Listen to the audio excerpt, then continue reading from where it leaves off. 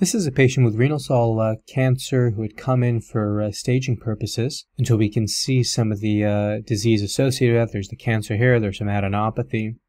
But the finding that I wanted to share with you as we scroll downwards in the small bowel is this thickened loop of small bowel over here. It's probably distal jejunum, maybe proximal ileum. You can see it all the way here quite a little bit of bowel wall thickening within that loop. Probably some loops adjacent to it are also a little bit thickened, but it's most pronounced in that loop. Minimal um, stranding adjacent to it. There's trace-free fluid in the pelvis. Uh, other bowel loops look okay. We can see the same bowel loop here on the coronal images, some bowel wall thickening with um, only minimal stranding associated with this.